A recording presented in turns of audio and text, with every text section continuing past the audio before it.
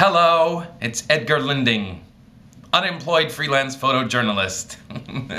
and I just want to say thank you. I am having a blast doing these auditions. So, um, fingers crossed on this next one.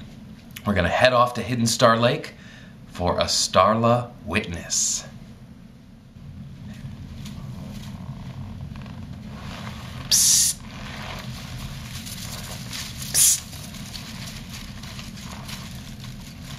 A few weeks ago, there was another disturbance at the lake.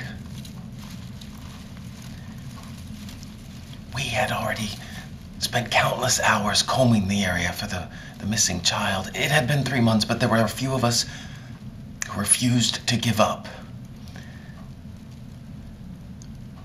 It was well past dark when one of the searchers screamed. The lake exploded open as something broke through the surface.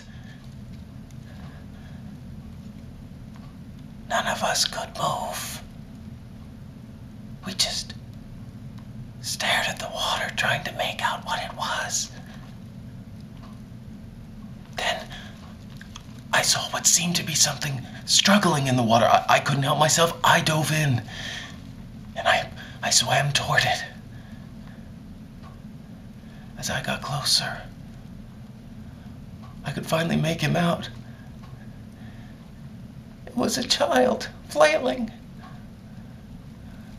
Without thinking, I cradled him under my arm and I swam back toward the beach. None of us could believe it. It was little Harvey. That was three weeks ago. He seems fine, but no one. No one wants to say what they really think. He is not the same as he was. From the blank stare in his eyes to that permanent gray streak on his chin, he is.